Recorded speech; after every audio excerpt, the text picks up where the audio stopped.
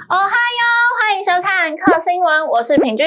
今天要带来看的新闻是资金涌入，集团做账开跑。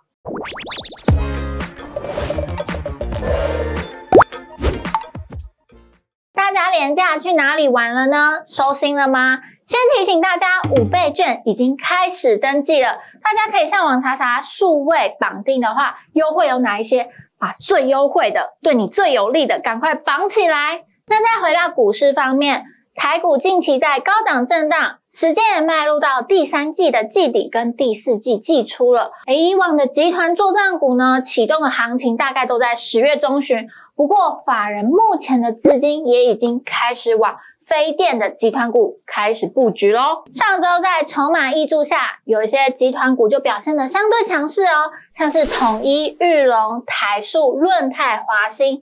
那玉龙则是因为有切入电动车，而且还跟红海集团有所合作，所以吸引短多点火。那在统一集团部分，统一超虽然因为受到疫情的影响，所以营运衰退，不过股价皆还是有所表现哦。专家也表示啦。作战股的布局方向上，除了可以参考历史的表现以外，因为现在进入到第四季之后，也可以参考产业的变化跟金融环境。像是标的如果具备消费旺季、经济内需，还有高值利率等能见度题材的话，都会吸引资金进驻哦。将会是很好的布局方向，大家可以多加留意。将以上资讯提供给大家，大家还想知道什么呢？欢迎在底下留言告诉我。